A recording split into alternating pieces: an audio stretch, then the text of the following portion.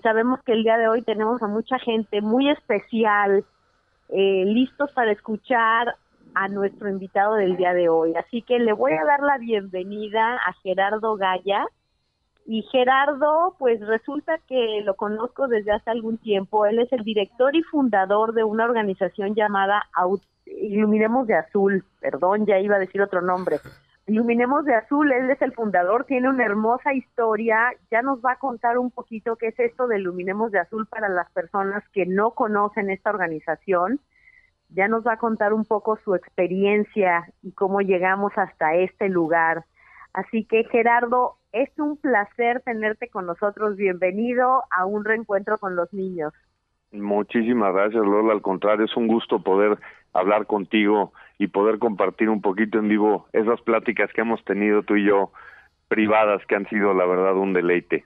Exactamente, Gerardo. Y probablemente aquí haya gente escuchándonos de otros países que no saben exactamente quién es Gerardo, qué hace, que nos cuente un poquito de su vida primero, antes que nada, qué, qué pasa con Gerardo, qué hay detrás de Gerardo, que ya después lo lleva a crear esta organización de la que nos vas a contar en un, en un momento.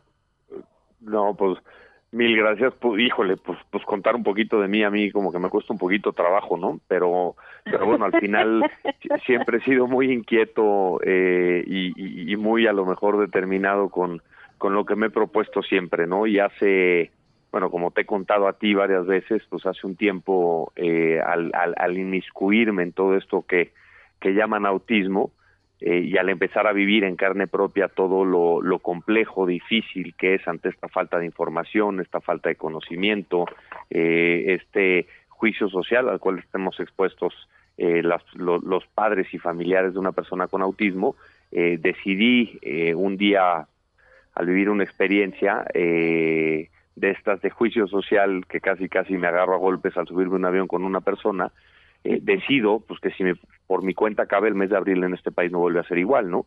Obviamente cuando te dan el diagnóstico de autismo de una persona cercana a ti, eh, pues empiezas a, a, tratar de obtener respuestas en un mundo pues que no que no las hay aún, ¿no? Y bueno, dentro de todo esto de una luz de esperanza yo de esta campaña de eh, Light Blue conducida por Autism Speaks, en donde, eh, bueno, este gran movimiento a nivel mundial de iluminar de azul edificios y monumentos emblemáticos en todo el mundo, me doy cuenta de que por lo menos hay una luz de esperanza, ¿no? En México, desde el 2011, desde el 2012, perdón, comienza eh, Chiscalabé del Centro Autismo Teletón a impulsar esta iniciativa y apoyarla en México, pero también nos damos cuenta que la gente no sabía por qué. Entonces es cuando decido yo eh, dar un paso al frente, digamos, y constituir y fundar Iluminemos Azul para contarle a la gente un poco de qué iba este movimiento con el objetivo principal de concientizar, ¿no? Yo, como lo hemos contado también en varias ocasiones, creo que la, la concientización y la sensibilización es la clave para empezar a detonar todo lo que tiene que suceder en materia de autismo en nuestro país. Claro. Oye, Gerardo, pero voy a, voy a echar aquí el, el cassette, que ya ni siquiera existen los cassettes, pero eso sí los podías echar para atrás.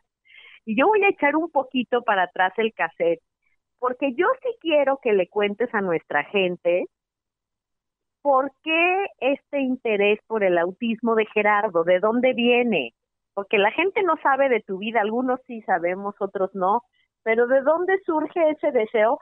Y la realidad es que estás mencionando ese incidente del avión y con todo respeto y si te sientes con la libertad de decirlo, sí me gustaría que nos comentes ese incidente, porque incidentes como esos, seguramente muchos padres de familia se han topado con situaciones como esa. Y por supuesto, yo creo que yo creo que es lo que vivimos día con día, eh, desafortunadamente, los padres de un niño con autismo, ¿no? Hace eh, cuatro años, cinco ya casi, eh, nosotros recibimos el diagnóstico de, de Álvaro Mijo, eh, y, te digo, ante este empezar a peregrinar, ¿no? De, de, de, búsqueda de información, de búsqueda de respuestas, pues que es muy complejo y muy difícil. Y bueno, cuando estábamos con el trámite, digamos, ¿no? O pasando, digamos, todo este trago de, de aceptación del diagnóstico y demás, pues empiezas a notar cómo, cómo tu vida empieza a ser totalmente distinta en el sentido de que salir a un restaurante se puede vivir un problema, ¿no? eh, que no sabes nunca, ¿no? Que el autismo es quien determina eh, tu día a día, empiezas a notar este eh, pues esta situación tan compleja para la familia en donde bueno salir a una tienda de conveniencia o salir al súper o salir a un restaurante se vuelve se puede volver en una experiencia no muy positiva que digamos no y bueno viendo todo esto no viviéndolo todo en primera persona pues el incidente este del, del avión íbamos nos íbamos de viaje mi familia y yo íbamos los cuatro mi esposa y mis dos hijos y Álvaro, mi hijo, eh, venía muy emocionado para subirse al avión, por más que nos anticipamos y por más que el calendario visual y todo el rollo, ¿no? Y venía muy emocionado y al de repente en el gusano del avión pues pega un grito eh, de emoción y el cuate de enfrente no le pareció mucho, ¿no? Entonces se volteó con cara de muy pocos amigos, eh, me disculpé, no pasó nada, eh, al segundo grito, pues el cuate se volteó con menos cara de amigos, ¿no? Y a lo cual pues empiezas a llenarte un poquito el vaso también como papá de que tengas que ir por la vida disculpándote el comportamiento de tus hijos, ¿no? Y en el tercer grito, pues el cuate ya se volteó con muy mala cara y bueno, fue tal mi, mi frustración y demás que, que estuve a punto de pasarle a, a mi hijo, a mi mujer y romperle la cara a este cuate, ¿no? Que no lo culpo, que no lo culpo porque no tiene por qué él saber que mi hijo tiene una condición, pero al mismo tiempo, pues la, creo que las personas juzgan lo que no conocen, ¿no? y fue tal mi impotencia y tal mi frustración que, fue donde me decidí, ¿no? Digo, ya tenía algunos proyectos en marcha, ya estábamos haciendo algunas cosas, pero ahí fue donde, donde digamos, se me cruzó el cable o me hizo clic el cable para decir, este, si por mi cuenta cabe el mes de abril en este país no vuelve a ser igual, tenga lo que tenga que hacer. Y así ha sido un poquito, Gerardo, porque incidentes como ese, como bien tú lo dices, las familias que tenemos hijos con el diagnóstico nos topamos a menudo y yo estoy segura de que muchos de nuestros radioescuchas tendrían más de una historia que compartir. Y aquí lo importante creo de esta historia que nos estás contando, Gerardo, es la decisión que tomaste después de eso, esa frase que dices, ¿cuál fue la frase que dijiste? Después de esto en el país no vuelve... Sí, por mi cuenta cabe, ¿no? El mes de autismo en este país no vuelve a ser igual. Exactamente, exactamente. Y esas son las frases determinantes y son las intenciones que determinan un antes y un después, que fue exactamente lo que ha pasado con Iluminemos de Azul, eh, que fue la organización que tú fundaste. Ahora sí cuéntanos, Gerardo, ¿qué, qué hace? ¿Por qué? ¿Con qué intención surge Iluminemos de Azul? Aunque ya sabemos que viene a raíz de este incidente o desde antes, pero ¿para qué surge? ¿Qué quiere Iluminemos de Azul? ¿Qué quiere lograr? Mira, yo ahí soy muy fiel creyente en que la sensibilización y la concientización de la sociedad es clave, ¿no? Que como lo hemos platicado tú y yo también varias veces, pues si les enseñamos a los niños de, de aceptación de esta diversidad, pues les dejamos les vamos a tener que dejar de hablar de inclusión para hablar de convivencia, ¿no? Y al final esa es la tirada. Yo creo en la sensibilización como un eje eh, clave para detonar toda la y accionar toda la necesidad que tiene que haber, ¿no? En el momento en que se vuelve un tema de interés público, las cosas empiezan a suceder, ¿no? Y hemos sido de alguna forma, eh, pues testigos de ese un poquito eh, o de esa teoría, ¿no? en donde a través de diferentes acciones, pues hemos logrado hacer visible el autismo, ¿no? Que se hable de autismo, que se ponga el tema en la mesa, para primero empoderar a los padres a que nosotros mismos seamos agentes de cambio, seamos los que promovamos la inclusión. Yo digo mucho que no nos podemos quejar de exclusión si no estamos haciendo nada por, por, por la inclusión de nuestras familias, ¿no? y lo que buscamos es inspirar a la sociedad en, en, en, favor de las personas con autismo. Tenemos como misión realizar acciones de impacto social, creando conciencia e inspirando a la sociedad a favor de las personas con autismo, porque creemos mucho en que, en que ahora, por ejemplo, ¿no? Que ves una noticia que está dando la vuelta ahí por todo el mundo, en donde una, eh, el mundo está indignado porque una maestra le arrebató el micrófono a un niño con autismo en una en un festival de la escuela, ¿no? A mí me da mucha tristeza no que pase el hecho de que una maestra le quite el micrófono a un niño, porque eso no debería suceder ante cualquier circunstancia. Lo que me causa más, eh, por un lado emoción, porque bueno, se habla de autismo, pero por otro lado sí me indigna un poco el hecho de decir, se vuelve noticia porque el niño tenía autismo, si no nos hubiera convertido en, en tal fenómeno, ¿no? Y eso es por un tema de que eh, se está acostumbrado a ver la discapacidad con lástima, se está acostumbrado a ver eh, el autismo como tragedia y es parte de lo que queremos cambiar. ¿no? Sí es una situación muy compleja, sí puede ser muy difícil, sí lo sabemos todos los que vivimos, pero al final del día, pues no tiene por qué ser así, ¿no? ¿Y qué pasa si empezamos a contar de lo único y extraordinario de cada persona? ¿Qué pasa si cambiamos la narrativa para inspirar a la sociedad, para empoderar a los padres y para generar esperanza?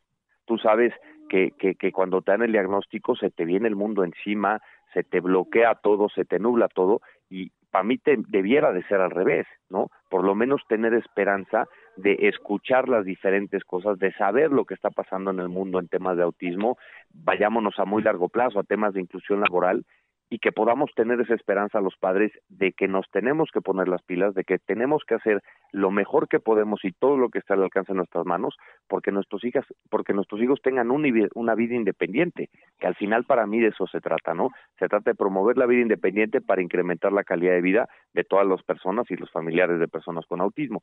Y esa es la parte que Iluminemos de Azul busca, ¿no? El hecho de transformar este entorno social, este transformar este ecosistema que hasta cierto punto, hasta hace muy poco tiempo, pues era una espiral hacia abajo, eh, que, que, que, se convierta al revés, en, un, en una fuente de inspiración, en una fuente de esperanza y una fuente de apoyo para los padres de, de personas con autismo.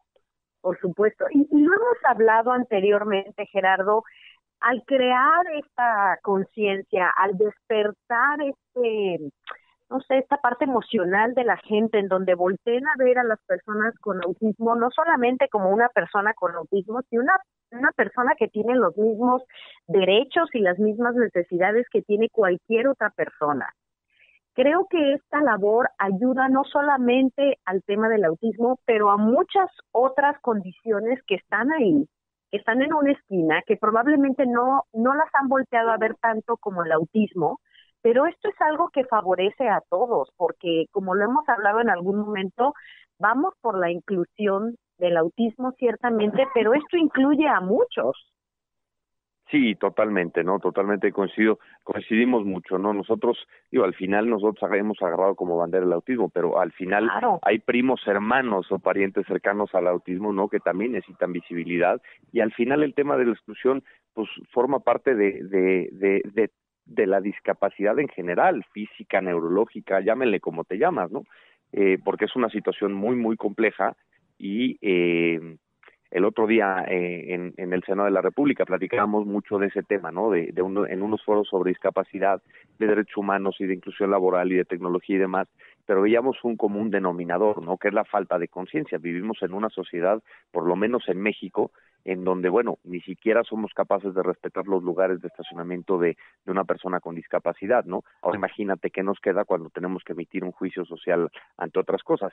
Pero lo que yo veo muy complejo en torno a la discapacidad intelectual, al autismo, es que es una condición invisible, invisible físicamente, ¿no? O sea, o imperceptible a simple vista. Al ser un tema de comportamiento, bueno, con todo respeto lo digo, pero si ves una persona en silla de ruedas, a lo mejor sabes que está en una silla de ruedas, ¿no? Pero cuando se trata de un tema de, de intelectual, neurológico o autismo, etcétera, eh, es un tema de comportamiento. Entonces, se, sufre más de exclusión porque pues estás estás juzgando o emitiendo un juicio sobre el comportamiento y las conductas de la persona. Entonces ahí es cuando se vuelve para mí más complejo, pero es parte de lo que queremos, te digo, cambiar a través de la pues de, de contar las historias en connotación positiva, ¿no? De contarte lo maravilloso de, de, de, de y las experiencias positivas que también existen alrededor de esto.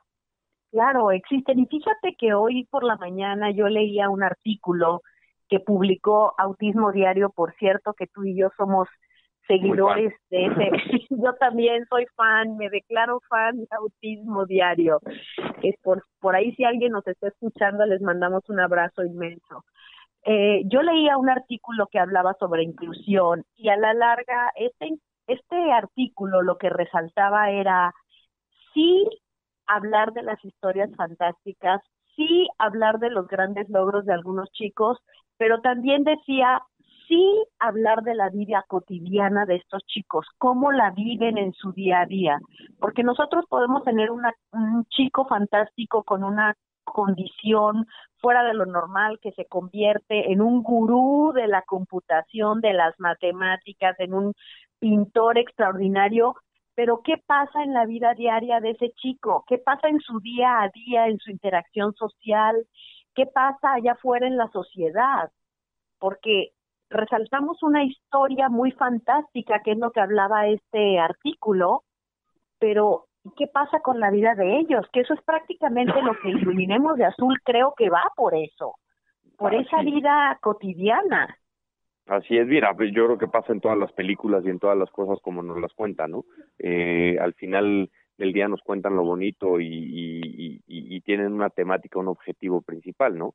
Aquí, digo, digo eh, coincido eh, en ese artículo, en, en que pues a lo mejor nada más nos están contando el hecho del superpoder que pueda tener esta persona, ¿no? Y que no estamos viendo mucho más allá del tema, pero pues al final es parte de, de, de una connotación positiva y de qué son las cosas que hacen noticia, ¿no? Aquí lo preocupante es lo que tú dices, qué pasa en el día a día de esa persona, cuáles son sus retos, ¿no? Qué pasa en su interacción social, qué calidad de vida tiene, ¿no? Y yo es ahí donde insisto muchísimo en que tenemos que transformar este entorno social para que esa vida y esa vida independiente que puedan llegar a tener muchos, pues se convierta en calidad de vida, ¿no? Claro. Oye, Gerardo, déjame preguntarte un poquito sobre esta historia de Luminemos de Azul. ¿Cuáles han sido los retos más grandes que has encontrado en, en esta tarea de crear conciencia social? Uf, muchísimos. No, a mí, a mí, mira, no me gusta hablar mucho de los retos ni de los problemas, me gusta más hablar de, de, de las oportunidades que nos hemos topado, ¿no? Eh, obviamente tenemos eh, muchísimos retos por delante, ¿no? al final del día eh, somos una asociación civil que lleva apenas un año y medio, ¿no? Eh, estamos entendiendo cuáles son las buenas prácticas y estamos entendiendo muy bien cómo, cómo lograr nuestros objetivos, ¿no? Y, al, y, y, pareciera lo contrario, ¿no? Pareciera que es una institución sumamente grande que está sentada sobre millones y millones y millones de dólares y que y que contamos con un equipo gigante y bueno tú conoces un poquito nuestra realidad no en donde somos un equipo de cinco gentes hoy eh, y que bueno, lejos de tener muchos millones, al contrario, ¿no? Pasamos fatigas al igual que todas las instituciones para, para llegar a fin de mes, ¿no? Pero bueno, eso no es lo importante, aquí lo importante es lo que hemos aprendido, ¿no? Y, sí te puedo decir que las dos mayores lecciones que nos hemos llevado es primero que no tenemos tiempo para la autocomplacencia, no podemos estar eh, eh, lamiéndonos las heridas o vangloriándonos en lo logrado y decir qué padre campaña hicimos con Krispy Kreme qué padre que traemos un avión de Volaris brandeado y qué padre, no hay tiempo para eso, porque la segunda gran lección que tenemos es la urgencia por resolver estos problemas, no hay, está la necesidad, el otro me preguntaban a mí que, que, que cuál era el éxito del proyecto que estábamos emprendiendo, ¿no? Y lo tengo más claro que nadie, es la necesidad, o sea, yo el éxito del proyecto se lo atribuyo a la necesidad, que la necesidad no fuera real, entonces esto nadie lo hubiera pelado, ¿no? Y al revés, yo creo que eh, la causa necesita de muchas banderas, no de una sola, la causa, la causa de la inclusión en general necesita de una unión en específico, de un, de que se vayan cumpliendo objetivos eh, puntuales y en equipo. Y, y el principal reto ha sido ese, ¿no? Colaborar, colaborar con instituciones, colaborar con gente, sumar a gente, para que entendamos que el cambio empieza dentro de uno mismo y que depende de cada uno de nosotros. No podemos sentarnos a esperar a que eh, salga otra diputada como Paloma Villaseñor y fomente otra ley, no o fomente las reformas a la ley. Tenemos que entre todos fomentar esas acciones de la ley. No podemos esperarnos a que salga a lo mejor otra iniciativa de campaña eh, con el fútbol como Iluminemos Azul para, para que ellos solitos trabajen y creen conciencia, ¿no? Tenemos que nosotros estar hablando de autismo constantemente, tenemos que promover el tema y tenemos que promover la inclusión. Ahora, claro, por supuesto, Gerardo, vamos a suponer que hay por aquí algunos padres de familia que sé que los van a ver, llegarán de manera inesperada, que quisieran contribuir con la creación de conciencia. ¿Cómo, cómo, ¿Cómo lo hacen? ¿Cuál es la manera? ¿Cuál es el consejo? ¿Cuál es la guía? ¿Cómo podrían contribuir? Para mí es utilizar todo lo que está en sus medios, ¿no? Al final del día, a mí, por azares del destino, por suerte, por destino, llámale como quieras, tuve muchísima suerte de toparme en el camino con gente como Justino Compeán, presidente de la Federación Mexicana de Fútbol en México, eh, con Katy Cerna y Jimmy Lozano y poder lograr ese gran video que hicimos. Al final hemos tenido mucha suerte, pero esa suerte pues la hemos un poquito buscado con nuestra inquietud, ¿no? Y nuestra inquietud de cumplir un objetivo que es concientizar y proveer de material a la gente para que se acerquen al autismo, ¿no? Y, y ahí es donde yo creo mucho en que tenemos que hacer los padres lo que esté a nuestro alcance, ¿no? Por hablar de autismo, por poner el tema en la mesa, ¿no? sea con Iluminemos de Azul, sea con la asociación que sea, sea en, ahora sí que a título propio, en donde cada uno de nosotros tenemos que poner nuestro granito de arena hasta donde estemos dispuestos y hasta donde podamos. Claro. Y Gerardo, yo me voy a atrever a decir algo, porque yo este tema de la suerte tengo un problema con la suerte. Yo hay veces que no creo en la suerte y yo aquí me voy a atrever a decírtelo abiertamente porque yo creo en el poder de la intención. Yo pienso que cuando tú pones un proyecto a andar y tu intención es en el mejor beneficio de una comunidad, de un país, como lo que ustedes están haciendo, inevitablemente la vida o llámale cualquier situación que tú le quieras llamar, te abre todas las puertas y te pone todos los medios para abrirla. Me topo continuamente y tú también con padres de familia, con organizaciones que todavía están pensando en crear un proyecto desde el enojo, desde el sentirse pobres de mí, pobres de mí, que no voltean a ver a mi hijo, pobrecito, miren cómo está. Cuando uno crea un proyecto desde esa intención, desde esa intención de volteen a ver a mi hijo, miren pobrecito, creo que ahí es cuando nos falla la creación de conciencia. ¿Qué piensas? Estoy totalmente de acuerdo contigo y es parte de lo mágico de la historia que, que, que pues yo he vivido en carne propia con Iluminemos de Azul, ¿no? En donde una, una buena idea eh, generada por una buena intención eh, llevaba a otra mejor intención y otra mejor idea y algo más grande, ¿no? Y desde entonces hemos correteado, digamos, el proyecto hacia arriba y ha sido yo sí creo un poco en la suerte, pero también creo en que, esa suerte se busca y en que esa suerte se tiene que trabajar, ¿no? Y como bien dices, cuando las cosas nacen con un propósito por un bien mayor, se acomodan, ¿no? Se acomodan y, a lo mejor se dan más fácil. Aquí es la labor ha sido titánica, pero pero lo mágico ha sido de que una buena intención se convierte en un efecto multiplicador de oportunidades, ¿no? Y eso es lo que nos ha impulsado para seguir con este proyecto. Por supuesto, por supuesto, y además es un proyecto que va caminando de manera fantástica. ¿Qué te ha aportado a ti como persona este proyecto, Gerardo? Hijo, todo, todo. Para mí ha sido una transformación impresionante, ¿no? Digo, yo hasta hace, pues ya que año y medio, no, trabajaba, trabajaba en una en una empresa que desarrollaba programas sociales, teníamos como cliente al, gobierno de Michoacán y yo ya estaba harto, ¿no? Y, y mi vida estaba en una constante espiral hacia abajo de que esto no me gusta y esto no me gusta, esto no me gusta, y de repente decidí de buscar esta oportunidad, ¿no? Y buscar este proyecto y a partir de ahí fue un cambio radical, ¿no? Y que me ha llevado el mismo proyecto a lugares donde yo jamás lo tenía pensado, ¿no? El hecho de de, de poder estar eh, delante del presidente dando un discurso el día de la firma de la Ley General de Autismo o de ir a Nueva York a, a, conocer a la gente de Autism Speaks o incluso estar en la ONU dando una conferencia o estar en el Senado, me ha llevado a lugares que yo jamás me hubiera imaginado y que de alguna manera los he tomado como lo que viene, ¿no?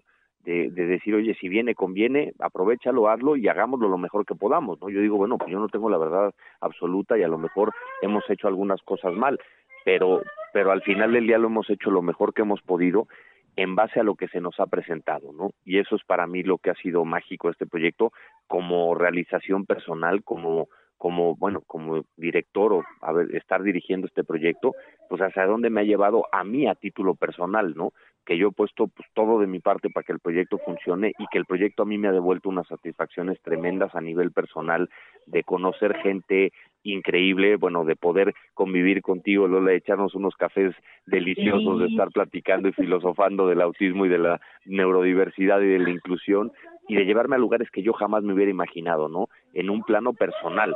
Ahora, como, como institución te digo, bueno, pues hemos logrado muchísimas cosas muy padres y, esa satisfacción de estar haciendo cosas que, que pues de alguna manera tienen un impacto en la sociedad, pues es algo con lo que te vas a dormir con una sonrisa en la cara. Claro. Oye, Gerardo, y yo yo sé de un proyecto que ustedes tuvieron y me encantaría que lo pudieras eh, compartir un poco, porque en todo este trabajo de concientización están también los niños, están también los adolescentes. No se trata nada más de concientizar y sensibilizar a los adultos, a los niños también. Y hay proyectos que ustedes han creado para incluir a la gente joven, a los niños. Cuéntanos qué es lo que han podido hacer y qué has logrado, qué has observado en esta convivencia con los niños. bueno, un poquito de todo, ¿no? Desde, desde, bueno, desde impartir conferencias en escuelas a los niños hasta para mí uno de los, eh, lo que hemos perseguido nosotros como evento insignia de Iluminemos de Azul, que es la Copa de Fútbol, eh, en donde a través del deporte más popular de este país promover la inclusión eh, en general eh, en niños y jóvenes, ¿no? Y la verdad que ha sido una experiencia increíble en Campo Marte este año en mayo donde invitamos a 40 niños a recibir eh, clínicas de soccer, a niños con autismo, recibir clínicas de soccer, ¿no? En promover y fomentar partidos de la inclusión, en donde se jugaba fútbol contra los guerreros aztecas, que son eh, eh, jóvenes que juegan, jóvenes y adultos que juegan fútbol y que están amputados de alguna de sus extremidades, el portero literal no tiene un brazo y todos los demás juegan en muletas, ¿no? Y ver cómo cómo eh, la sorpresa de la gente y cómo se les ilumina la cara cuando están viviendo eso, porque no estamos acostumbrados a verlo, ¿no? Estamos acostumbrados, insisto, a verlo como una tragedia, una lástima, y cuando te pones a jugar fútbol con un cuate que no tiene una pierna y que está en muletas y te gana, es cuando te das cuenta que aquí, que, que, que, que el que está mal eres tú y que es una cuestión de percepción, ¿no?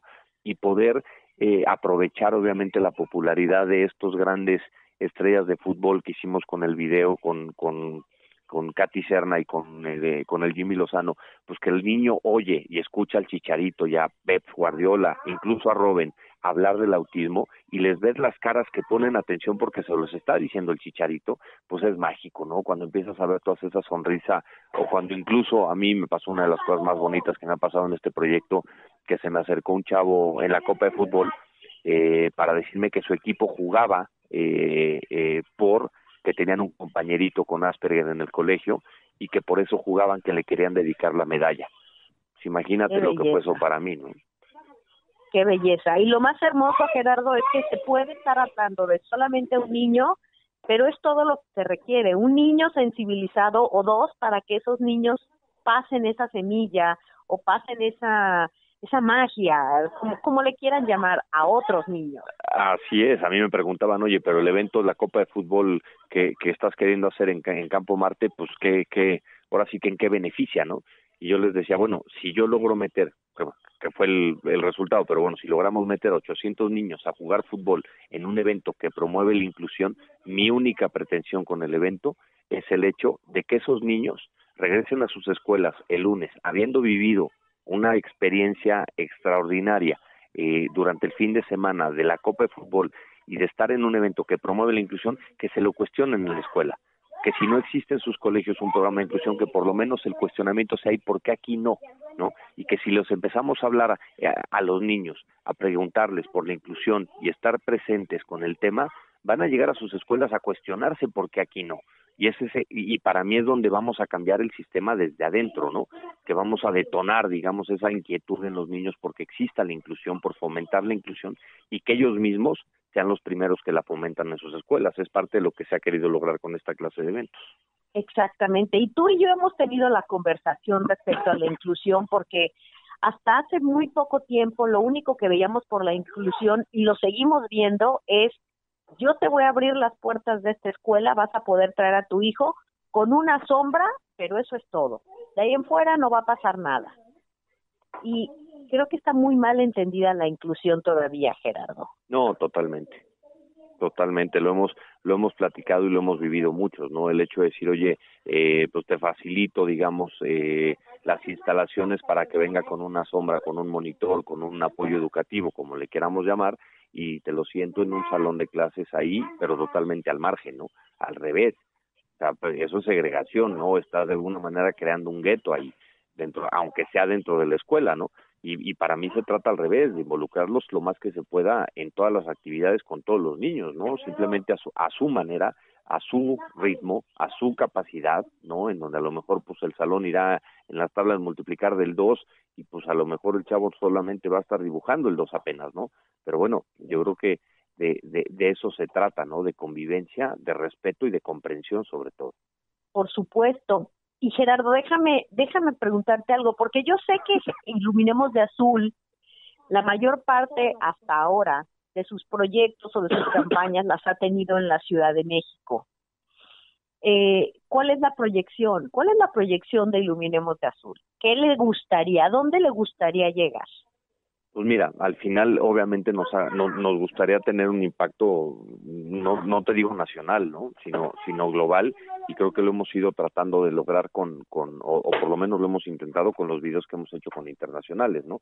Buscamos mucho, sí, el impacto, digamos, o las acciones concretas, pues estamos en México, vivimos en la Ciudad de México, aunque vamos a muchos talleres y congresos que nos invitan eh, fuera, eh, pero al final pues ha tenido un impacto nacional con las campañas con el fútbol y, y, con las diferentes marcas que nos hemos asociado, ¿no? Aquí buscamos, no, no, tenemos un propósito muy claro, que es aprovechar la popularidad de marcas, empresas, eh, productos, servicios, eventos, para que se hable de autismo y para que se haga visible el autismo, ¿no? Y creo que de ahí la importancia de contar con marcas aliadas como Krispy Kreme, como Volaris, eh, como Taco Holding, ¿no? Farolito, etcétera, en donde nos han permitido transmitir este mensaje de inclusión y esta visibilidad del autismo, pues a nivel nacional, incluso a nivel internacional, ¿no? Gerardo, ¿qué le falta a México? ¿Qué le falta a México para crear una conciencia de inclusión? Híjole, esa es la pregunta del millón. Eh, yo, mira, yo creo que le, le, falta de entrada a un interés, ¿no? Que es, eh, para mí, el tema es convertirlo en interés público, ¿no? O sea, convertir, de hacer de la inclusión, si tú quieres, una moda. O sea, literal es ponerlo de moda para que todo mundo quiera participar. Y cuando hablo de todo mundo, te hablo de eh, maestros, psicólogos, desde que se están desarrollando y que se, se, especialicen en el tema. Te hablo de empresas que busquen la inclusión laboral, te hablo de escuelas que busquen programas de inclusión, ¿no? Yo creo que falta muchísimo yo creo que vamos muy bien. Hay asociaciones civiles trabajando muchísimo en pro de la inclusión, los derechos y, el fortalecimiento de, de todas estas eh, eh, leyes que ya se hay en México, pero falta muchísimo, ¿no? Te digo que no hay tiempo para la para la autocomplacencia y para vangloriarnos del resultado que se tiene, ¿no? Por la urgencia que se tiene de, de tener este resultado. Yo creo que falta muchísimo, hace muchísima conciencia, pero sobre todo ahí es lo interesante de, de hablarle a los niños. ¿No? De hablarle a los niños y que forme parte de su normalidad toda esta eh, de neurodiversidad o discapacidades o diferentes habilidades, ¿no? Definitivamente. Y a eso fíjate que iba a ser mi, mi, mi siguiente pregunta, es cuando, cuando estamos hablando de concientización, cuando estamos hablando de sensibilización, ¿qué es realmente lo que queremos que la gente entienda respecto al autismo? Mira, nosotros hemos recorrido ahí un camino a lo mejor este trazado intuitivamente en donde dijimos primero tenemos que hacerlo visible, ¿no? El autismo es tan complejo que es muy difícil de explicarlo. No podemos explicarle a toda la sociedad qué es el autismo de buenas a primeras, porque no nos van a entender, no nos van a oír, no tenemos el tiempo, ¿no? Convirtámoslo primero en un tema de interés público haciéndolo visible, que la gente primero sepa que existe para después poder entrar a, que a, a despertar, digamos, esa curiosidad y que la gente por sí misma empiece a, pues a buscar un poquito de información y después nosotros provérsela, ¿no? De ya explicarles a, a, a empezar a, explicarles un poquito de qué va, qué es y cómo pueden ayudar, ¿no? A mí me pasa mucho de, que de repente me preguntan, Moni, ¿cómo te puedo ayudar? Comprendiendo el entorno, ¿no? Bajándole literal tres rayitas y, y, y no emitiendo un juicio, ¿no? Participando, digamos, en las campañas, ¿no? Participando desde dándole like a un comentario de la página de internet, compartiendo el contenido. O sea, parte del fomento de la inclusión es eso, compartir el contenido que está ahí, que no, como bien decías hace rato de autismo diario, no los mismos posts que tú pones desde tu página, todo ese comentario como comunidad tenemos que compartirlo y tenemos que transmitirlo para que llegue a más gente el mensaje, porque hacerlo, solo si lo vamos a lograr, ¿eh? si en México somos más de 120 millones de, de personas, pues cómo les vamos a llegar una a una, yo creo que es un reto difícil.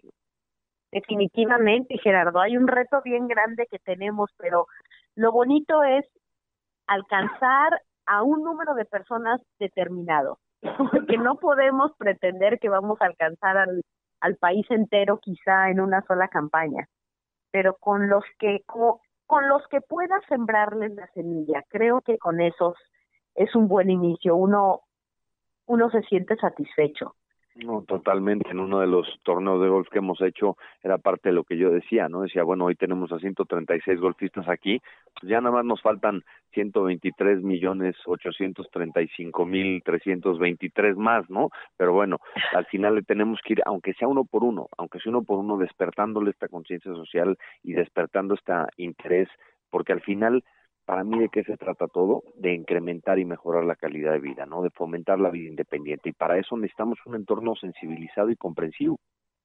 Definitivamente, Gerardo. ¿Qué proyecto tiene por ahí Iluminemos de Azul adelante? Uno, el, el próximo proyecto grande que tienen en puerta. Pues mira, ahorita toda la apuesta grande va a ser para la Copa de Fútbol de Campo Marte estamos viendo de aterrizar el proyecto porque obviamente depende de muchísimos factores, ¿no? Eh, ahí es donde, donde sí cuento un poquito la suerte y el trabajo duro, eh, porque necesitamos patrocinadores obviamente para la Copa.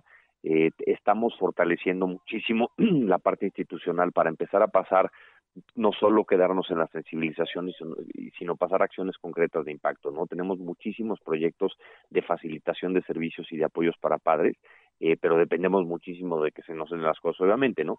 Y la apuesta grande, como te digo, es poder este realizar la Copa de Fútbol con mayor eh, participación de niños, obviamente, con mayor comunicación y seguir buscando estos aliados estratégicos, estas marcas, estas empresas que nos ayuden y que se alíen con nosotros para hacer, eh, primero, como primer punto, darle visibilidad al autismo, eh, para ponerlo como te digo, o sea, pongamos de moda el tema de la inclusión para que todo el mundo quiera participar, aunque sea por moda, pero el chiste es que participen. ¿no? Definitivamente, Gerardo. Además, ¿sabes qué? Mira, me, me ha tocado ya comenzar a entrar directamente a los salones de clase, ya a impartir talleres con los chavos, ya a impartir conferencias con los chavos, con los estudiantes dentro de los salones de clase. Y una cosa que me encuentro yo allá adentro es que por un lado puede haber mucha sensibilización, pero por otro lado hay muy, muy, muy mal entendimiento de lo que significa incluir.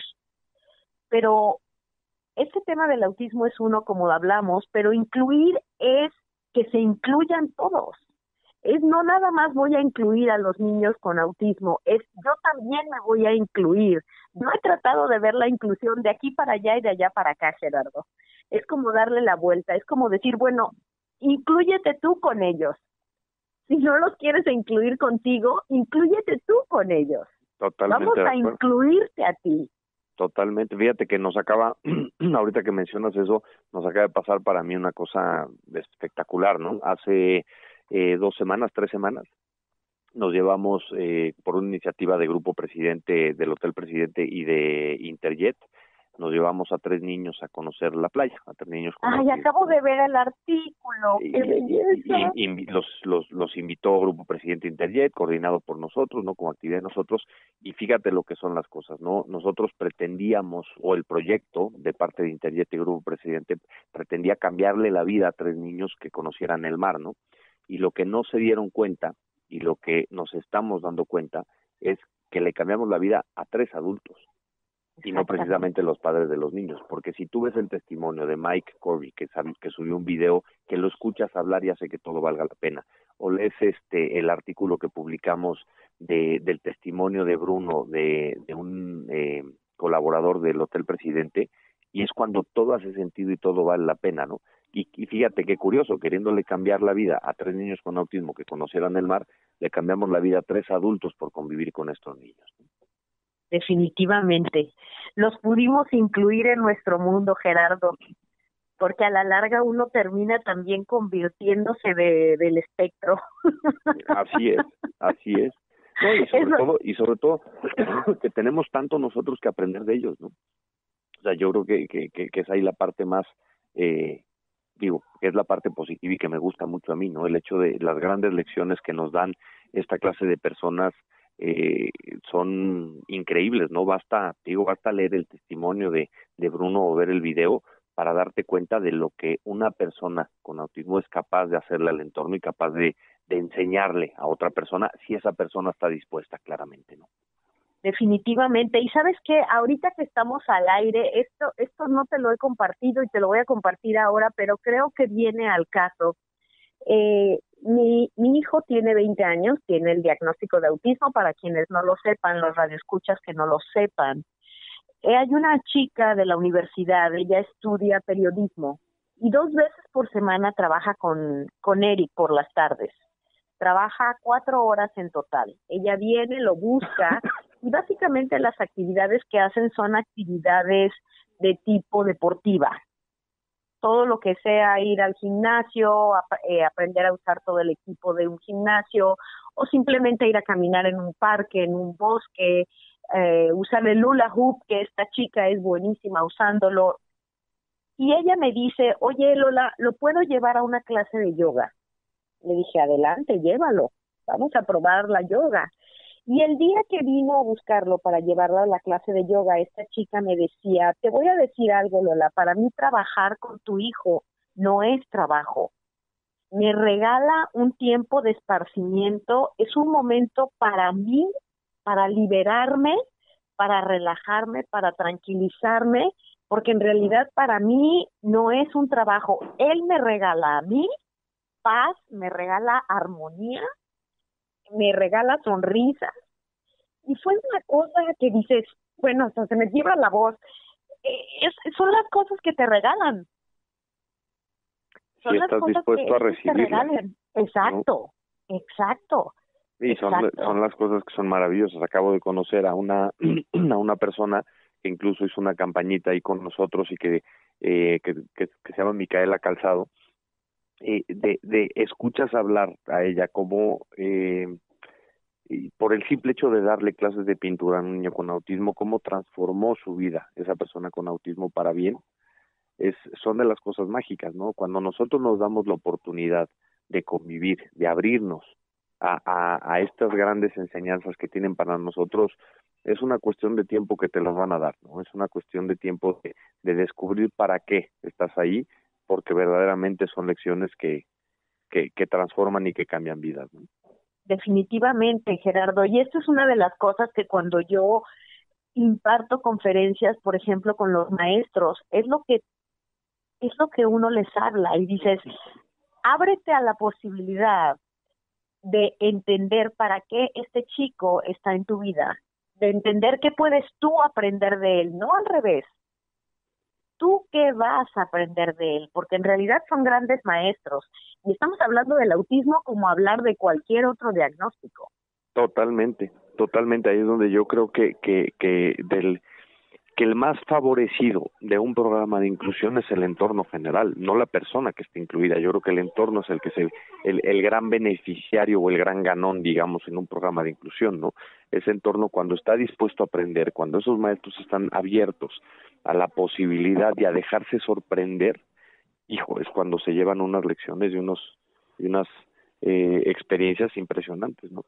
Exactamente, y yo estaba leyendo el artículo del que hablas, de estos niños que se los llevaron a la playa y que al, a la larga resultó ser al revés y dices, qué fascinante, qué fascinante estos profesionistas, yo pienso que nunca en su vida se hubiesen imaginado lo que iba a pasar al abrir a la posibilidad de darle algo a otros chicos. No, totalmente, incluso y incluso con la mejor disposición, ¿eh? O sea, digo no no digo que no la tuvieran, el el incluso teniendo la mejor disposición, es decir, o sea, que no fuera un tema de ay, voy a tener mi kit de trabajo el fin de semana a llevar a unos niños, ¿no? El hecho de que estuvieran emocionados de participar en el proyecto y demás, pero leer los testimonios para mí son, o sea, yo cuando vi el video el jueves en la noche, bueno, fue una emoción tremenda decir, es que hace que todo valga la pena, ¿no? Incluso me mandaron hace 10 días o, 15 días por ahí el testimonio de este cuate Bruno, a quien además, bueno, estuvo en una conferencia ahí que di en el Hotel Presidente de, de una plática de sensibilización a todo el hotel desde el mes de abril que venimos trabajando este proyecto que son de las cosas muy chistosas, ¿no? Que la gente ve que suceden ahorita, pero no ven todo el esfuerzo que hay atrás de él, ¿no? Eh, desde abril empezamos a platicar con ellos, hicimos una campaña con ellos y demás, pero les, bueno, leí el artículo que, que me mandaron del testimonio de Bruno y no me aguanté, o sea, no me aguanté, se lo, se lo reenvié luego, luego al director general como diciéndole, oye, te voy, spoiler alert, ¿no? Este, te lo voy a mandar totalmente sin autorización de nadie, me vale, pero es que tienes que leer esto porque esto es lo que hace que valga la pena todo, ¿no?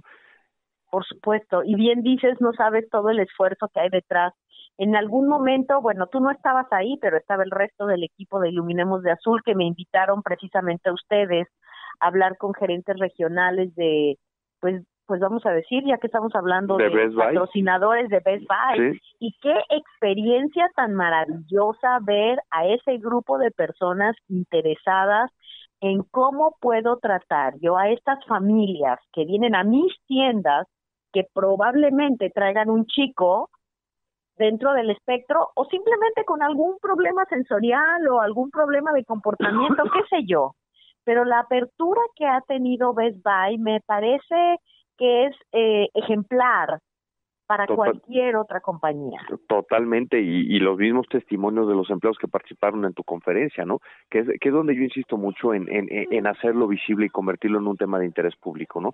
En el momento, o sea, estas cosas y estos intereses no suceden por nada, ¿no? Suceden porque el tema existe en la mesa, porque se está hablando de autismo, porque se está hablando de inclusión y las empresas quieren ser parte de esa, de esa conversación, ¿no? Entonces, y, y, y bueno, ver los testimonios y las caras de los empleados de Best Buy después de tu conferencia, decir, ah, caray, es que nunca lo habíamos visto así, y abordando el tema de la inclusión desde un punto de vista de atención al cliente, ni siquiera de un punto de vista personal, de tú tienes que hacer, no, desde un punto de vista de experiencia al consumidor, ¿no? Fue mágico. Exactamente, y fue maravilloso, a mí me encantó la disposición porque muchos de ellos antes de salir te dicen, tú me acabas de decir algo que es para mi vida, no, no o sea, no es nada más respecto al autismo, es para la vida porque hay que estar abiertos a incluir cualquier situación en nuestra vida y, ciertamente estas experiencias son mágicas, así que esto de poner de moda eh, la inclusión me, me gusta, Gerardo. Sí, mira, hay gente, hay gente que dice, no, no tiene que ser una moda, tiene que ser, bueno, sí, yo entiendo, ¿no? Pero para que sucedan las cosas, pues para mí tiene que estar el tema en la mesa, insisto con este ejemplo que pusiste ahorita de Best Buy, ¿no? No, no, no hubiera sucedido si el tema no les hubiera interesado. Y al final aquí, ¿a quiénes les interesa el autismo? A los papás. A nadie le interesa el autismo. ¿Quiénes nos levantamos preocupados por el autismo? Los papás. ¿Quiénes se, se levantan pensando en qué va a pasar mañana con este tema? Los papás. ¿No? Tenemos que ser nosotros los que provoquemos ese interés, ¿no? Pero si, si, lo convertimos en ese tema de interés, ¿qué sucede? Que se voltea a va y dice, oye, a ver, espérame, se acercan con nosotros y nos dicen, oye, a ver, me interesa esto, ¿no? ¿De qué va? Ah, pues mira, ¿qué podemos hacer? Resultado, pues una conferencia a, eh, no me acuerdo que eran 23, 25 gerentes regionales y gerentes de tienda, que lo que buscamos a través de esas conferencias es precisamente eh, cambiar ese entorno, ¿no? Nosotros, por ejemplo, la campaña de Taco Holding, la campaña con Krispy Kreme, con el farolito, que nos decían, bueno, es que a mí de qué me sirve ver una dona azul o ver una caja azul. Ah, es que lo que no saben es que dimos conferencias a todos los gerentes de las tiendas y de las fábricas Krispy Kreme buscando cambiar este entorno, buscando modificar el entorno social en el cual vivimos para que sean tantito más sensibles y tantito más empáticos y comprensivos con el tema. Me encantaría poder hacer experimentos sociales a decir, oye, a ver, 10 niños con autismo vayan a Krispy Kreme a ver si cambiamos alguna realidad, ¿no? Pero también me encantaría saber cómo era antes. Yo el antes lo he vivido a lo mejor poco, pero ahora veo muchísima mayor disposición, muchísimo mayor interés y eso no es cuestión de casualidad, es un tema de que la conversación de autismo es relevante, de que la causa es relevante y les empiece a interesar a todo el mundo. Claro, y además los números han aumentado además. Ese es, es otra, fíjate que me encantó una, una, una, algo que dijeron en el Senado el otro día, me encantó porque de repente dijeron, bueno, es que hay más discapacidad hoy en día y la respuesta fue contundente de uno de los panelistas, dijo, para nada, hay la misma. Lo que pasa es que hoy se habla del tema más abiertamente y entonces lo vemos más, ¿no? yo estoy de acuerdo en que en que sí los datos de prevalencia sí pueden pueden a lo mejor tener el significado que si las vacunas que si no las vacunas todos estos temas que son muy polémicos bueno que se han ampliado los criterios de diagnóstico yo sí creo que además porque cada vez lo tenemos más cercano como sociedad no cosas que antes ni volteábamos a ver hoy hoy lo tenemos muy más cercano pero también es que la gente estamos mucho más dispuestos a hablar del tema cosa que favorece toda esta cantidad no claro y además nos damos cuenta que esta diversidad Así es, así es, siempre ha existido, porque sí, como bien dices, quizá ya están ahí, quizá los criterios, todo es más visible, pero sí han aumentado los números. Bueno, los números de pobladores en el planeta se han incrementado considerablemente, así que por supuesto que todo crece en relación a eso. pero es verdad, estamos más expuestos. Fíjate, Gerardo, te voy a compartir algo, ya me darás tu, tu opinión al respecto. Eh, tuve la oportunidad de dar una conferencia para padres de familia en una escuela que se declara 100% inclusiva.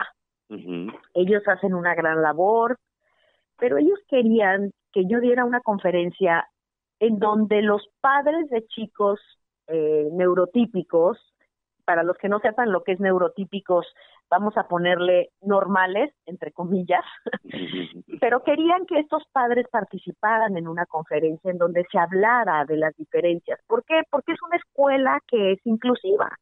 Entonces, si tú estás llevando a tu hijo a una escuela que es inclusiva, aunque tu hijo no tenga ningún diagnóstico, pues es como si tú aceptas parte, ser parte de esa comunidad. Bueno, Gerardo, fue tan difícil llevar a los padres que no tenían a los chicos con diagnóstico, tan difícil que la escuela optó por decirles que al final de la conferencia les iban a entregar las calificaciones de los niños. Claro. Para que pudieran asistir, asistieron, asistieron bastantes padres y al terminar la conferencia la experiencia fue magnífica.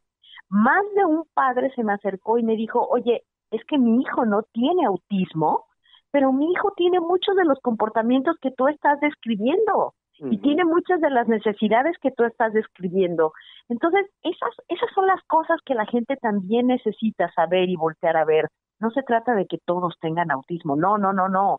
Puede haber una o dos características que tu hijo esté teniendo y que tenga retos en su comportamiento tan significativos o casi, casi tan significativos, significativos como las de un chico con autismo. Totalmente y, al, y, al, final, pues esas, esas diferencias son los que nos hace únicos, ¿no?